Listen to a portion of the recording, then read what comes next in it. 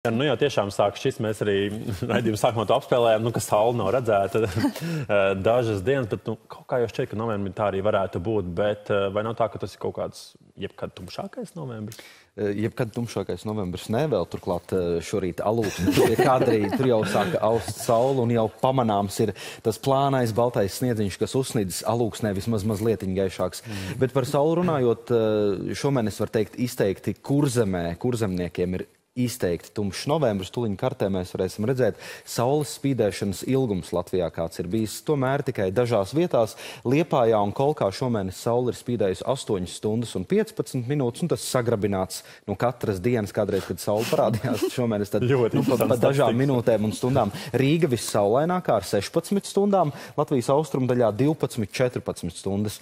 Eh, mēneša norma ir eh, ap 30-40 stundām. Līdz ar to Rīga ir, nu tā, aptuveni tā arī būtu jābūt. Mēnesis stūp pusē, 16 stundas, bet no kurzemē 8 stundas un neizskatās, ka šodien, šodien, šodien saule neparādīs, neparādīsies vispār. Eh, mēneša gaitā noteikti vēl jau uzspīdēs, tā ka galīgi bez saules nepaliksim, bet, eh, bet rīdzinieki noteikti nevar sūdzēties tāds, un tas mūsu novembris ir. Kurzemniekiem ir pamats, eh, pamats sūdzībām par tumsu, bet šonedēļ ir cerības, ka tāds līdzīgs sniedziņš kā šorīt ir alūksnē parādīsies arī citviet Latvijā.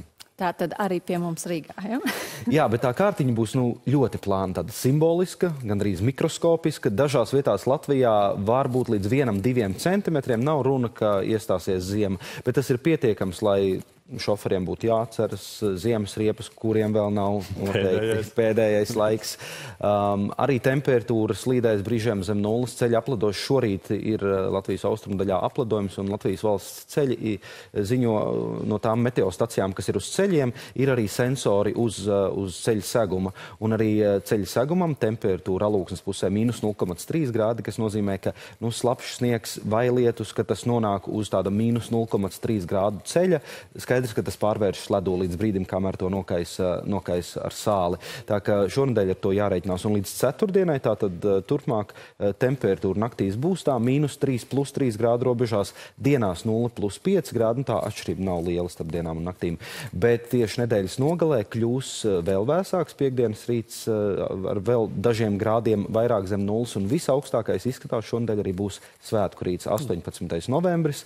Visā valstī temperatūra mīnus 1, mīnus 6 grādi, tātad neliels sals un arī dienas laikā temperatūra ap nulli. Tā kā svētku pasākumos dodoties, jau tagad jāpiedomā, ka, nu, lai visas ziemas drēbes ir izvilktas no skapiem, cimdišāls, sepuris, biezāks jakas, jo arī pagājušā gadā, es ceros, mēneša sākums bija silts un tieši ap 18. novembra kļuva augstāks, un es pats svētku pasākumos dodoties ārā diezgan nosali, nebija pietiekami mm. sagatavojies tam, ka kļūst augstāks. Nu, skaidrs, ka cimdiņi jāuzvelk, bet vai lietasargs arī tad nepieciešams 18. novembrī? Nu, kaut kādi nokrišņi varētu būt, bet izskatās, ka to būs maz, ja arī tad drīzāk sīks smalks sniedziņš Pēc svētkiem gan atkal kļūs siltāks. Nebūs kā pagājušā gadā, kad pēc 18. novembra iestājās mēneša beigās diezgan stabila ziema. Vidzemē pat bija 11 cm biezs sniegs. Šobrīd izskatās, ka pēc svētkiem temperatūra atkal paaugstināsies. Mm. Tomēr tā viļņveidīgi, nevis par stabilu ziemas pienākšanu mēs runājam, bet vēl aizvien. Jā, vēl aizvien viļņveidīgi. Tā ciklona aktivitāte būs augsta, kas no Atlantijas okeāna mums nes siltumu.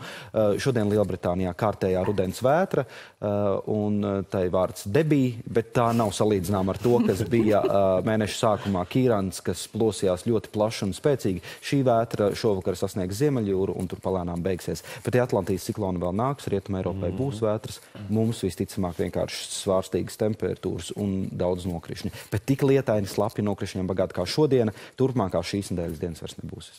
Bet nu, latvieši jau pierādīja, ka Latvijas dienām var izvilkt gan lietas, gan pūtas, cepures, lietas jaks, tad laikam 18. novembrī krietni kaut ko siltāku jāizvelk no skapiem un tad jau viss būs kārtībā. Jāpārdzīvo šodien, un tad jau daudz maz. jā, jā. Paldies!